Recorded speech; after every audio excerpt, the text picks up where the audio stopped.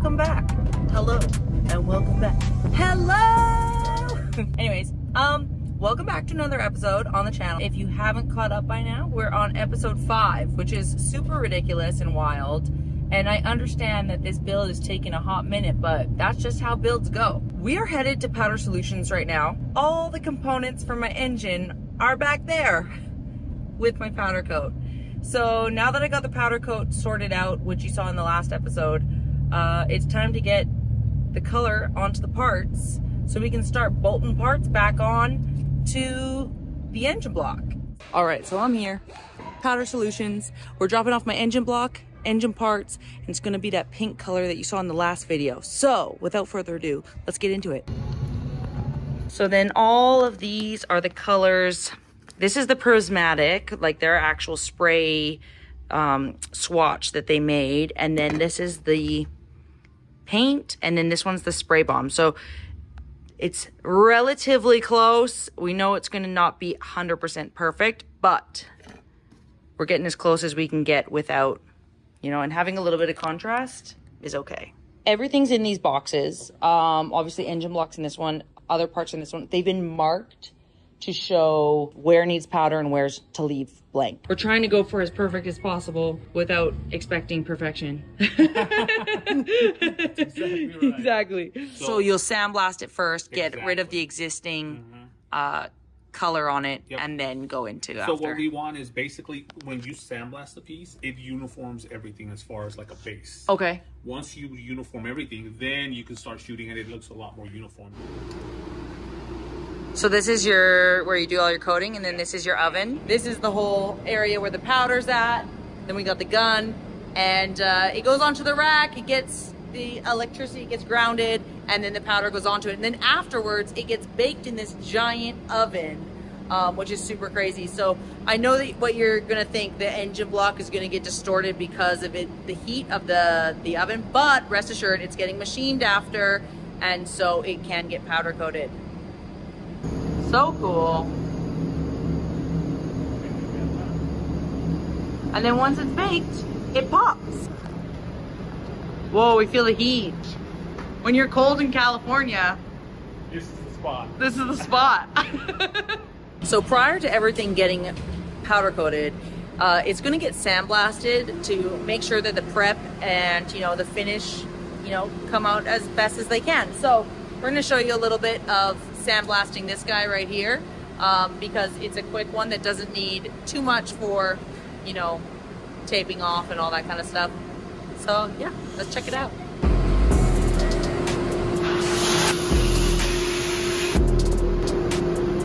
Just a quick little shot of it. Cleaning up the wells. Yeah. In different lights, it always looks slightly different. So we're gonna take a peek at the powder and go from there. But yeah, it's always so hard. Ooh. It's so strange that it comes in a bag like this. Like Yeah, yeah, yeah. So this is how much is that? Twenty five pounds? This is 30, so I went, you said 25, and I was like, let's get an extra five just in case. Yeah, the frame's gonna take up the majority. Clear is supposed to have a little bit of black in it. Really? Like the paint store guy said, he was like, oh, you just need a little bit of black in it. So that's what they kind of tried, and it ended up working out in that way. So, What is it? Clear vision or is it a different one? um, it's, I mean, they, this, Oh, this, Vision, yeah. yeah. So this swatch is like that color, but with this over top of it. White powder. Clear vision. Several days later. You guys already know the drill. We're here picking up from Beo-Mag Plating my engine parts that I dropped off. You guys saw that I dropped some stuff off. You probably already saw that a few parts and components that got plated. There's lots more that's getting plated, but let's go check out what's going on because this is the first time I've seen them in person.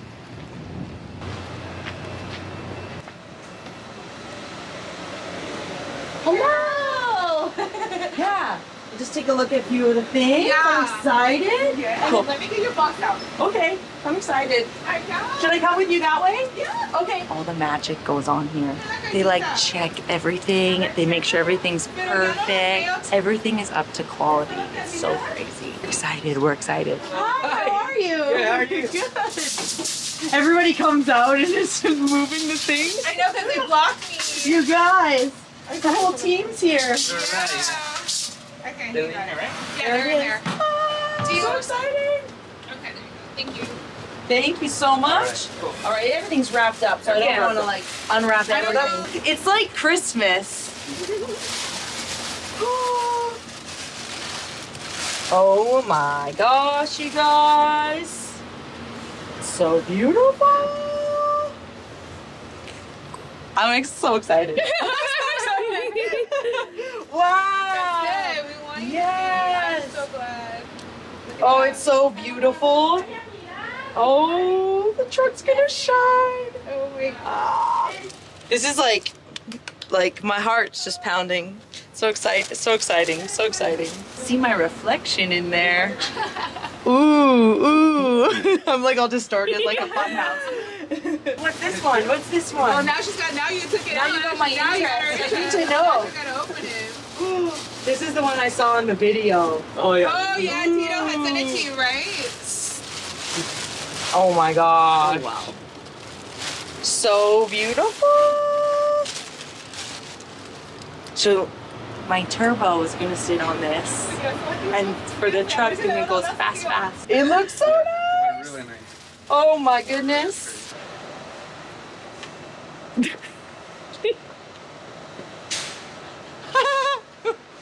this is so exciting.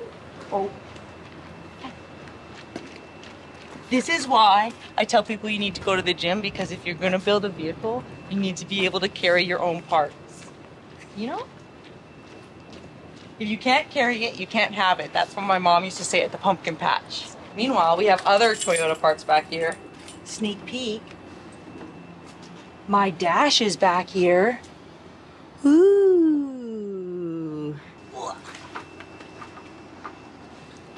Ta-da! Successful day at the Chrome Shop. I'm hyped. The Omegs out here are already killing the Toyota game right here. This Toyota here is ready to show me up. Good luck to me. We're back at Powder Solutions. Um, I mean, you guys were just here with me, right? Of course you were.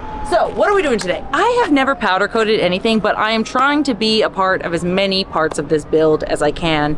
So, today I'm gonna learn a little bit about powder coating, try and do some of my own parts, and then let these guys do what they do best and make the magic happen. So, without further ado, you guys saw the color. Let's go put some pink on these parts.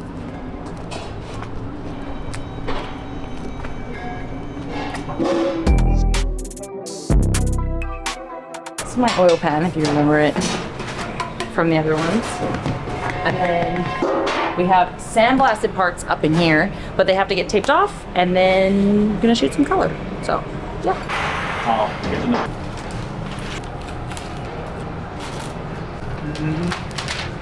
Freshly sandblasted. Legit. Sandblasted. Legit. Before anybody comes at me in the comments about uh, wants to mansplain powder coating to me, don't want to hear it. Just, just want to let you know that, because probably read your comment a thousand times before, and you know what, bro? It's okay. Don't worry. It's fine. I'll put my hair back later on, so it won't get in anything you just build a sheet sort of like over all the and then cut it kind yeah. of is that yeah. So like some happens? of them, I'm looking for lines in case this one has any of those lines where he kind of yeah gave us that edge. Build the sheet and then start cutting that. Right. So we'll just build a whole. peter sheet marked out uh, quite a few of the parts he put little x's on where it needs to be masked off for sure and then some of them have lines on them depending on what the edge is i guess for whatever gasket's going on or what whatnot so yeah that's uh why we're taping off a lot of stuff i've never seen tape like this Oh, really? Yeah. And it just is these little squares, rectangles. I promise I know my shapes. Did I just ruin your whole day? Huh? Did I just ruin your whole day? No, Marky. You gotta put up with me now? Could be worse, I guess. Right. I feel like I'm doing arts and crafts right now. Oh, I fucked this one up. I might just retape this. It's easy. First redo. Redo number one. I feel like they all look like they're gonna be easy to cut out, and then you start cutting it, and it doesn't want to do what you want it to do. So that's that's wonderful for my abilities.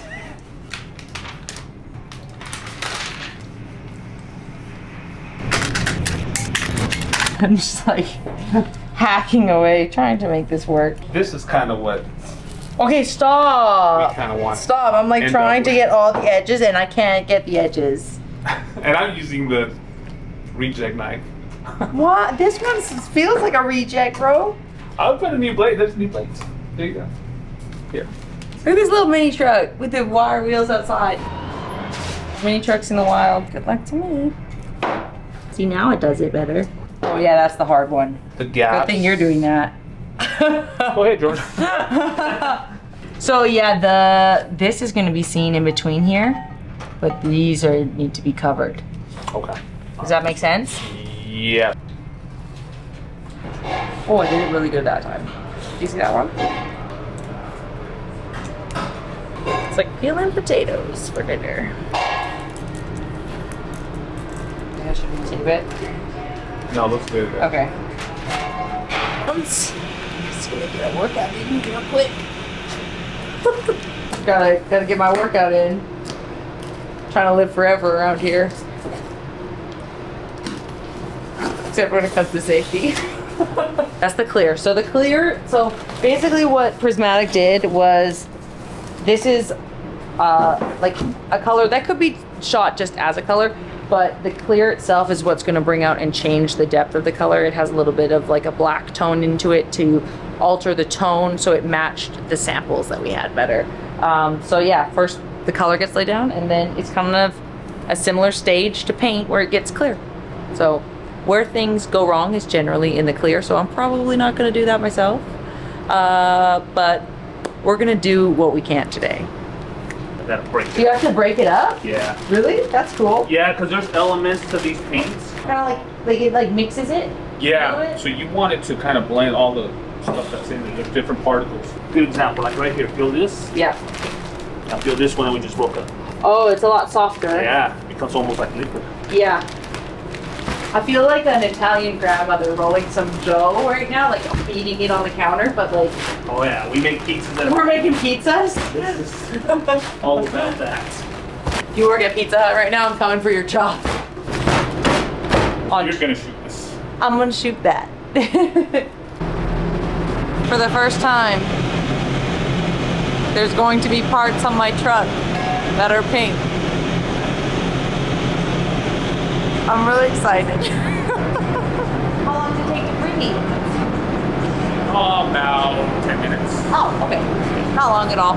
It's got a preheat little part action.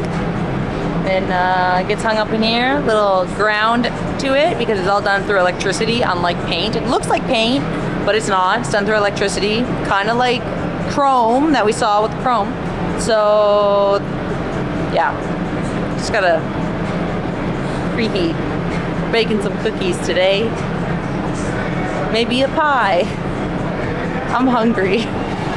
All right, he's coming out of here, out of the preheat.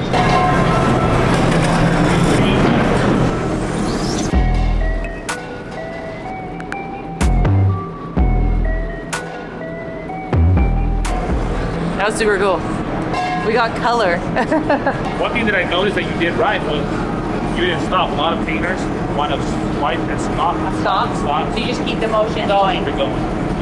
So the oven's at 400 degrees. This part now is gonna go in for about 10 minutes and then it'll come out. This is my oil pan, so practice round goes on the oil pan because we wanna make sure that I'm not gonna mess things up too bad. Um, but also nobody's gonna see the oil pan because the truck's gonna be on the ground. So yeah, there goes.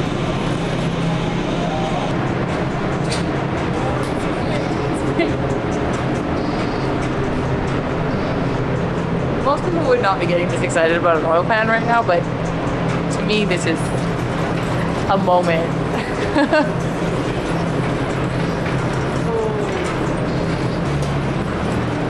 you can feel the heat coming off of it. It's crazy.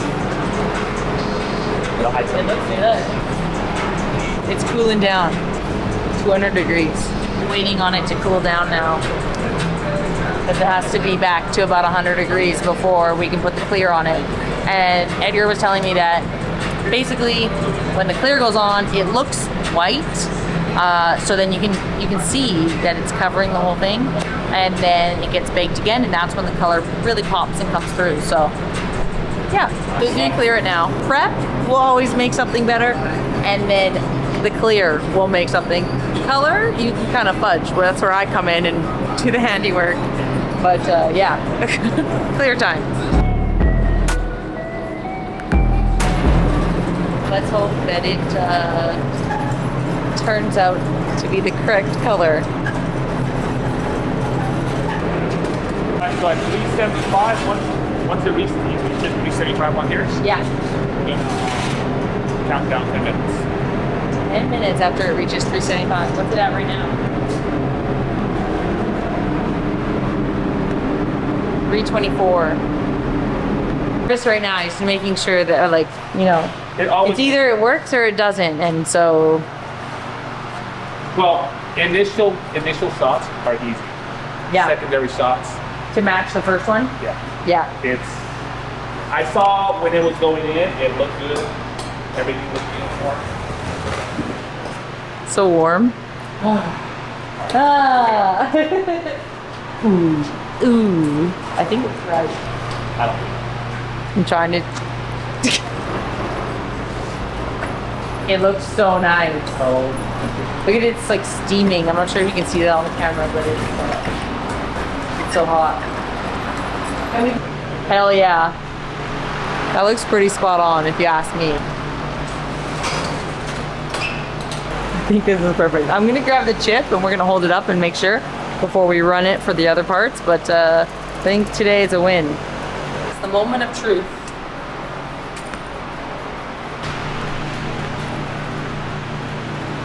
Looks pretty spot on if you ask me. It's crazy how much it changes when you turn it. When you turn it, just like in a little bit, like it changes so much, but it's spot on for what it's supposed to be. Yeah! Hell yeah! The first pink part from my truck, and now all the rest of them. Stay tuned. This is the best part about powdering instead of paint. You can kind of blow yourself off. Hell yeah. Pass this light, then use the left lane. I'm going past this.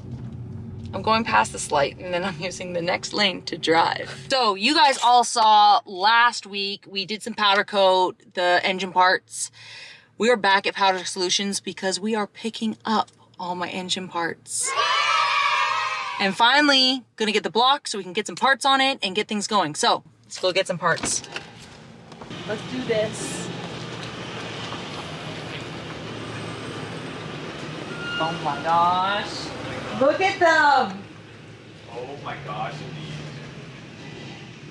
I mean, this one's the most important, but like, wow. They're so beautiful. Stand from here. I mean, it looks like It's like glass. Okay, it's like so glass. this is the chip that you all saw before. Perfectly matching. Oh my goodness. I'm so excited right now. It's so beautiful. I cannot wait. I cannot wait. No, right? This is like Oh my, he even got it like exactly how it's supposed to be. that man right there. You killed it, bro. Proud of you. Thank you. Oh my gosh. So beautiful. Mm-hmm. Very nice. Wow. Wow. I like the pulley. The pulley? That's like the best part for I you? I love, I love the pulley. I in like the block. block. But the pulley's like so beautiful. No, no. Damn. Mm, I'm down block. Oh, it's just all looks like so it's great. Glass, like It it's- just looks perfect, honestly. Fill on the block. Just fill on it. Just feel on it. Just Yeah. give it a little rub. Just give it a little rub. Yeah, it's super nice. Oh my gosh, you guys. I'm so excited. I can't wait to actually see like everything come together where it has the chrome on it and it has like all the different components on it so then it just is all just gonna be popping. Beautiful. I'm so excited. This is now getting real. It's getting real. So yeah, it's going. This is going to the engine shop on Saturday, and they're gonna um, get it machined, and so then we can get everything starting to go back together. Okay, let's wrap it up. Let's wrap it up. Let's wrap it up. Cool.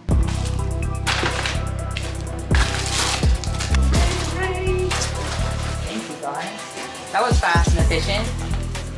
All right, everything's loaded up. We are going to be taking all the engine parts to the machine shop now. But uh, thanks for watching. Make sure you catch the next episode. Like, subscribe, follow, all the stuff. All the links are down below. You know where to find them. And uh, we'll catch you on the next episode.